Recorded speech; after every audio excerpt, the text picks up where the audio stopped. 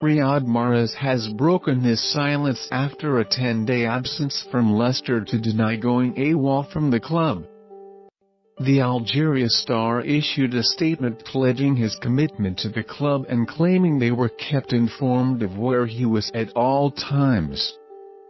Mahrez returned to training on Friday and is in contention to play in Saturday evening's game at Manchester City whose failed attempt to sign him on transfer deadline day led to his protracted absence.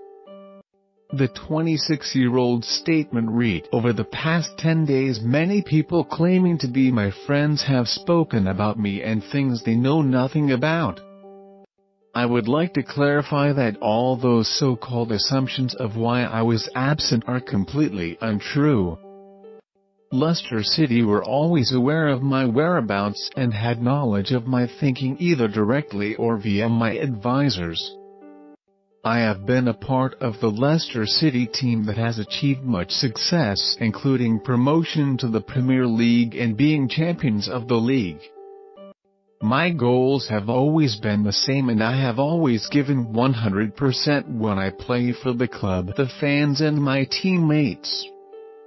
Those goals remain the same today and in the future and when I am asked to be a part of the team. Rest assured I will continue to give my all. Mahrez handed in a transfer request after City made a £50 million offer before the end of the January transfer window but the deal collapsed after Leicester demanded £90 million for the 2016 PFA Player of the Year. City could return with a bid for Mahrez in the summer. And City boss Pep Guardiola described him on Friday as an extraordinary player. But Guardiola insisted that City cannot be blamed for their role in the saga claiming the situation is no different to Leicester contacting them last summer to negotiate a £25 million deal for Kelechi Iheanacho. Asked if his club should accept any responsibility for unsettling Mahrez, Guardiola said, Me, I don't think so.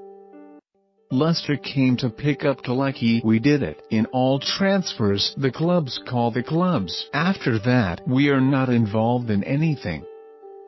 It's a decision for the player and the club. Not Manchester City. Guardiola wants Mahrez to play on Saturday even though he has starred in Leicester victories over City in each of the past two seasons. I love to play with the best sides and the best players because when you beat them you feel better, he said.